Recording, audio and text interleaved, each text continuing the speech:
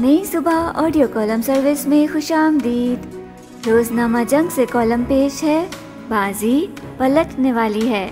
Column निगार है सुहेल वराइच और आवाज़ है हानिया मुबीन की। अगर आप नई सुबह की ऑडियो लाइब्रेरी से मुस्तफ़ होना चाहते हैं या हमारे साथ वॉल्टियर करना चाहते हैं तो विज़िट कीजिए हमारी website www.naisubha.org n a i s u b a dot o r g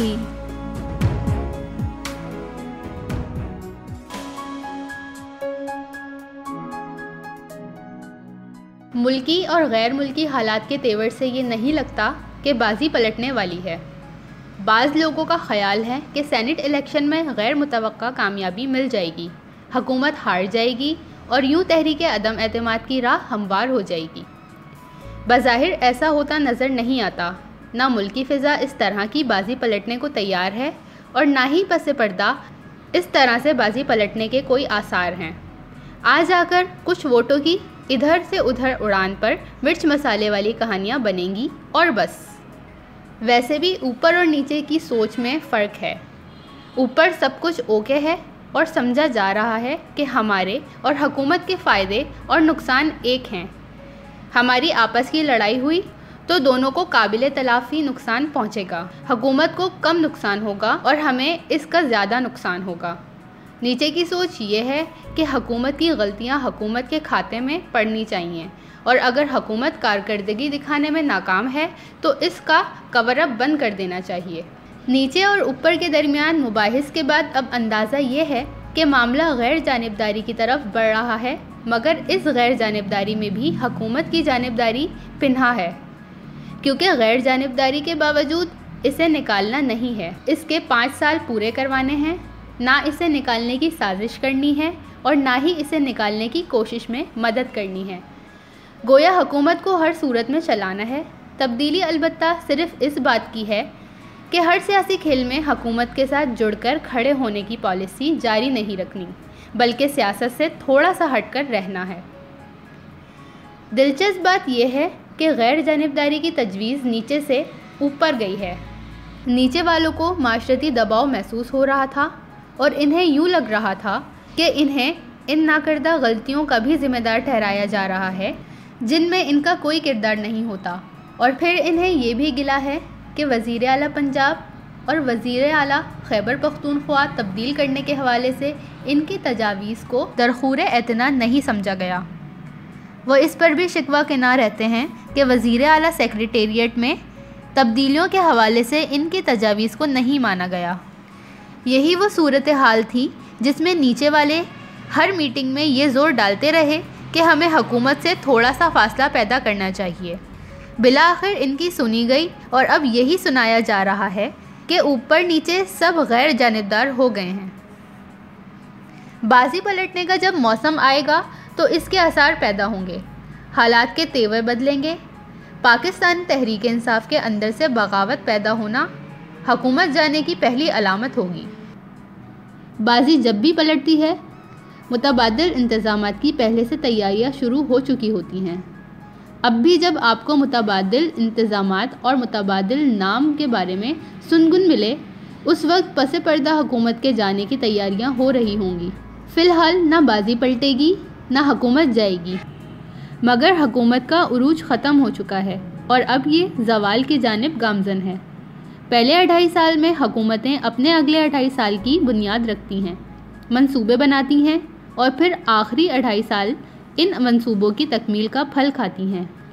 मौजूदा हुकूमत ने ऐसी कोई मनसूबाबंदी नहीं की।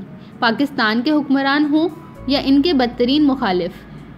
सबको इल्म है कि पाँच साल बाद भी पाकिस्तान माशी तौर पर वहीं खड़ा होगा, जहाँ आज खड़ा है। इस हाकदार तो अपने दौर में ये ख्वाब दिखाया करते थे कि पाकिस्तान आइंदा चंद बरसों में दुनिया की बीसवीं बड़ी और उभरती हुई माशी ताकतों के साथ खड़ा होगा। अब सूरत हाल ये है कि हम भारत और बांग्लादेश दोनों से माशी तौर पर कहीं पीछे रह गए हैं। माशी नमू में दोनों ममालिक हमसे कहीं आगे निकल गए हैं। पाकिस्तान को बरामदात के हवाले से जीएसपी की जो सहूलत मिली हुई है, इस पर भी कई एतराज़ात उठ रहे हैं। एफएटीएफ की बहुत सी शराइ पूरी करने के बावजूद हमें इससे छुटकारा नहीं मिल रहा। कर्ज़ों की अदायगी के लिए हमें मज़ीद कर्ज़े लेने पड़ रहे हैं और यूँ हम एमआईएफ के शिकंजे में मज़ीद फंसते जा रहे हैं।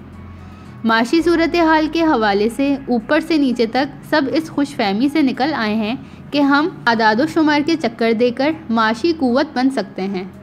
और तो और हकूमत टैक्स कलेक्शन में भी अपनी कारकर्दगी दिखाने में नाकाम रही है। सियासी हवाले से पीडीएम फ़िलहाल मीटिंगों और सलाह मशवरे तक महदूद है।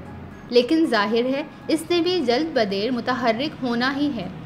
पीडीएम ने लाजमन पहले मरहले में अपनी गलतियों पर गौर किया होगा और अब ऐसी हमत अमली तश्कील देगी जो कारगर साबित हो। पीडीएम के लिए पहला बड़ा चैलेंज लॉन्ग मार्च होगा। लॉन्ग मार्च में चारों सूबों से लोगों को इस्लामाबाद लाना और फिर इनका एक बड़ा जलसा करना एक मुश्किल टास्क है। और अगर इस मार्च ने धरने का फैसला किया तो फिर इसके लिए वसी इंतज़ाम करना पड़ेंगे। ज़्यादा उम्मीद यही है कि लॉन्ग मार्च को धरने में तब्दील नहीं किया जाएगा, बल्कि इसे लॉन्ग मार्च तक ही महदूद रखा जाएगा। पीटीआई हुकूमत के लिए सेनेट इलेक्शन के बाद सबसे बड़ा चैलेंज ये होगा कि अगले अढ़ाई साल में वो आवाम के साथ क्या बेचेगी।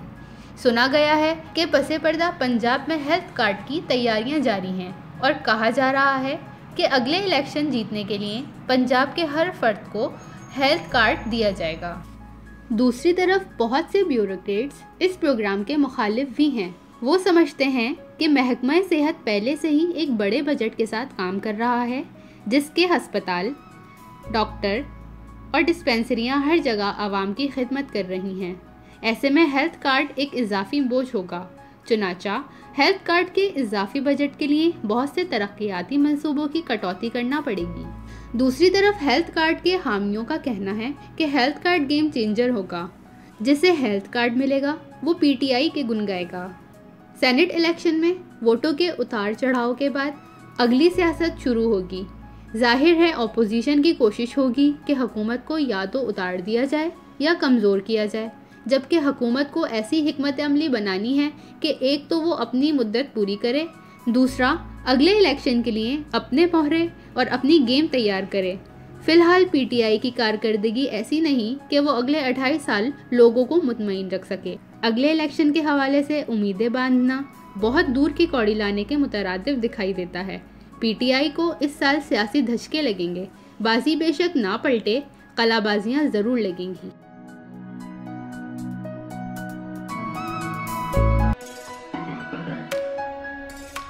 ये मालूमती मवाद नई सुबह की जानब से पेश किया गया। अपनी आरा के इजहार के लिए कमेंट कीजिए या डिस्क्रिप्शन में दिए गए रबते के ज़राए इस्तेमाल कीजिए।